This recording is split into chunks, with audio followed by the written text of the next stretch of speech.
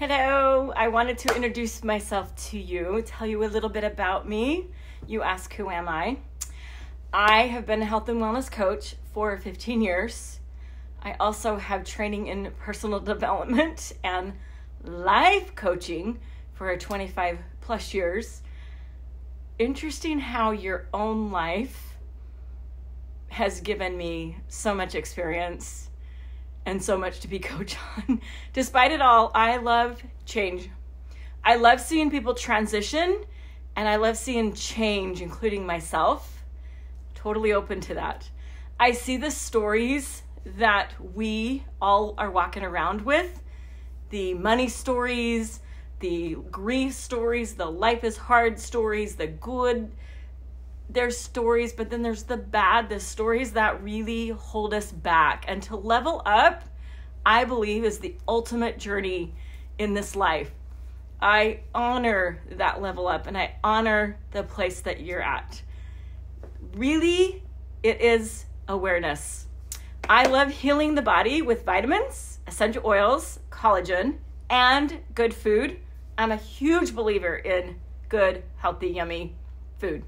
I love healing the mind with meditation, music, prayer, and positive thoughts. The power of the mind can blow you away, and I know it.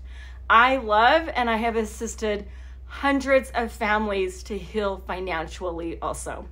Give me 120 days and I can alter your health and your mindset. Give me six months, and I truly believe you could be on your way to financial freedom you say how it goes. I'm an AromaTouch certified trainer, a foot zoner, certified foot zoner, reflexology, and I love getting oils on people's feet, people's spines, and in their homes. I am the wife to my soulmate, Dirk. I adore him. I am the mother to three beautiful souls, soon to be a grandmother of two gorgeous little grandbabies in 2024. So excited. I'm going to be a grandma. grandma, Granny, Mimi, Gigi, Gima. I'm also a doodle mommy. I have two sweet fur babies. I have way too many kitties. Love those little kitties and chickens. I'm a homesteader with five acres, and I love to preserve, garden, and prepare. I truly believe the Power of the Future is preparing.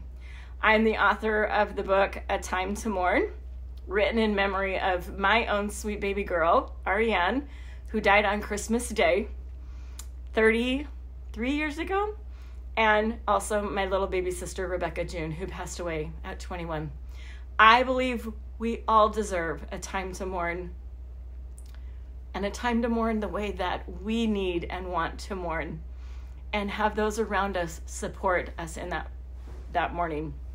This is who I am.